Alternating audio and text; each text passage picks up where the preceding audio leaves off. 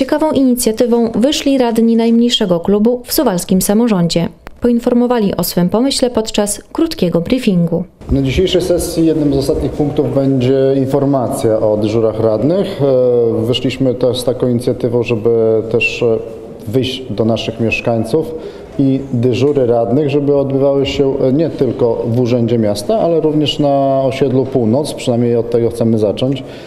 Na spotkaniach e, klubów e, niestety nasz pomysł e, nie, nie nie spodobał, ale nie został przyjęty jakoś pozytywnie. Stąd my jako klub Wspólne Suwałki nasze spotkania, dyżury radnych będziemy odbywać na osiedlu Północ, w naszych jednostkach zaprzyjaźnionych na jednostkach miejskich.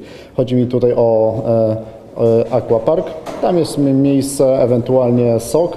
E, Te wszystkie informacje zapewne podamy na stronie i naszej internetowej, e, jak również będzie to umieszczone na e, stronach e, urzędu. Na tym jednak innowacji nie koniec. Radny Adam Ołowniuk poszedł z nową propozycją dalej. Nowa forma e, Nordic Walking z radnym. E, Kto ewentualnie będzie chciał czynnie przyjść, e, pospacerować, nauczyć się prawidłowego marszu z kijkami, to będę e, ja służył tą pomocą, instruktarzem i również e, w takiej formie będę e, prowadził spotkania z mieszkańcami na swoich dyżurach i nie tylko. Trudno ocenić, jak odniosą się do obu pomysłów wszyscy radni, jednakże naszą uwagę zwróciło to, że pomysł wyjścia trzech radnych z murów ratusza właściwie spotkał się z oporem podczas posiedzeń komisji. Czym pozostali samorządowcy odpierali zachętę wspólnych suwałk? Uzasadnienie klubów innych było takie, że nieliczna grzesza gdzieś tam osób e, przychodzi też do, do urzędu.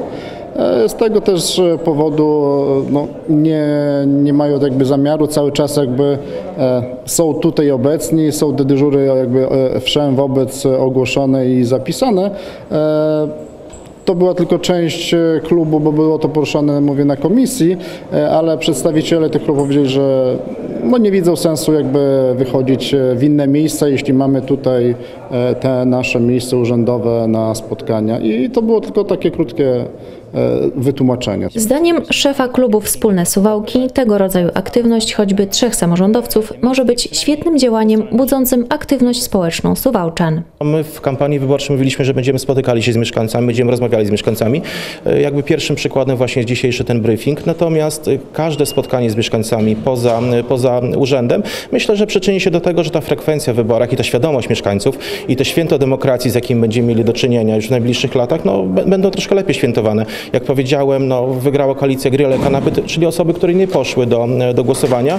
No i Uważam, że powinniśmy podnieść tą świadomość mieszkańców naszego miasta dotyczącą y, możliwości spotkania z radnymi, a także y, tego, czym zajmuje się samorząd i, i głosowania na, na radnych, na prezydenta, na, na wójtów, burmistrzów, y, europarlamentarzystów. Przecież niedługo też mamy wybory europarlamentarne. Mam nadzieję, że to, ta frekwencja będzie wyższa niż w wyborach samorządowych. Chciałoby się powiedzieć, że hasło władza bliżej ludzi to dość oklepane hasło, ale z drugiej strony, jeśli ludziom za daleko do władz, to może skrócenie drogi okaże się strzałem w dziesiątkę.